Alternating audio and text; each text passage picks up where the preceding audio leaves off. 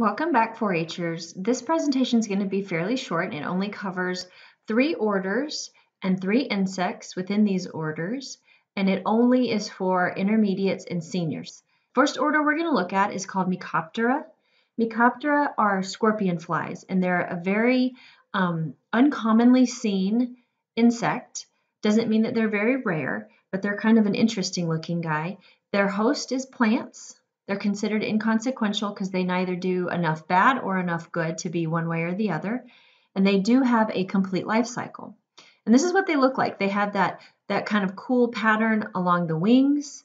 They have this funny snout for a nose. They don't look like anything else. So hopefully it won't, you won't get confused with this guy and somebody else.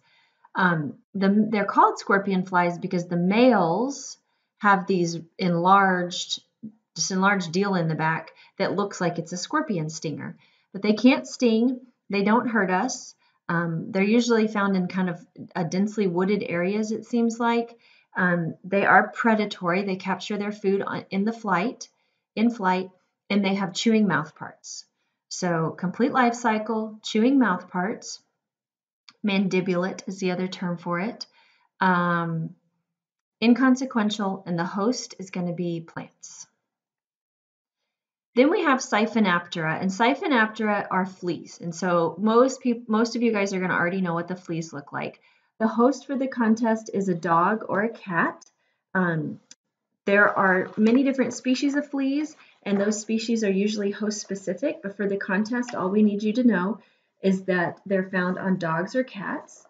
Um, they are, of course, considered a pest. They're a nuisance to your pets. They're a, um, a parasite um, but they also have the ability to, uh, other species have the ability to transmit diseases.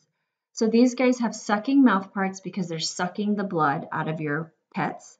They feed on blood as adults, and the larvae also feed on blood, but they feed on dried blood. Well, how do you think that they get that dried blood?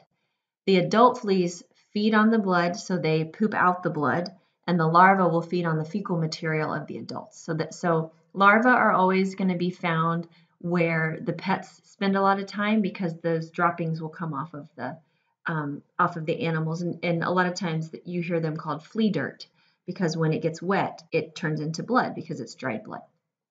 They will sometimes bite humans. The host is the dog or the cat but we're a second meal for them. We're the second best so they will feed on us if they want to. They have a complete life cycle. You can see that ugly larva right there. Um, the hosts are cats and dogs they are considered a pest and they have sucking mouth parts. These guys are also really super modified for the environment that they live in. They, they lack wings because wings would get in the way, although every other insect we've looked at up to this point have wings. So they should have wings, but they lost wings along the way because it was a disadvantage to have them.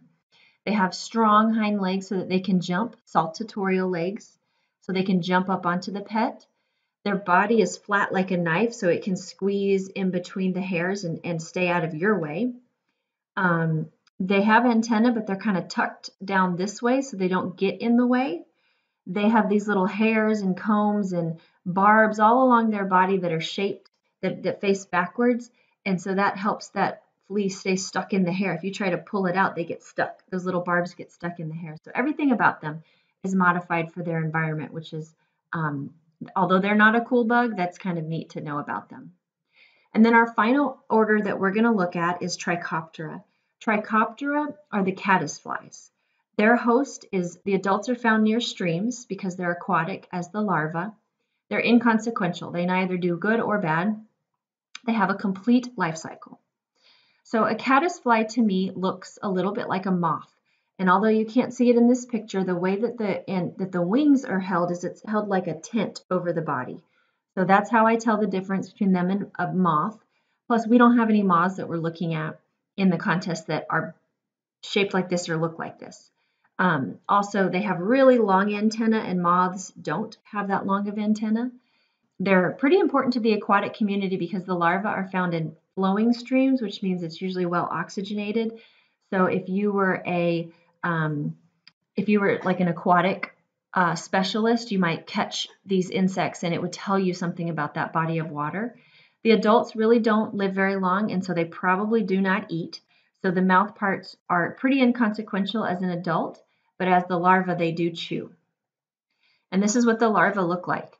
The larvae of some species are known to take debris, pebbles and other things, and and kind of glue it together really tight with with uh, um, silk that they make or their saliva. It makes a really really tight glue, and so they'll crawl along the bottom of the water and poke out to eat and feed on food then crawl back in once they get their food, I guess. But what's neat about them is that is that people have learned that this glue is so tight, and so they will trick the caddisflies into utilizing um, gold pieces, like you see there, pearls, diamonds, and they'll make jewelry out of that stuff. So those are the three orders that we're just going to cover um, in this little tiny, tiny section. And um, next time we will start covering the lepidopterans, which are the butterflies and the moths that everybody likes so much.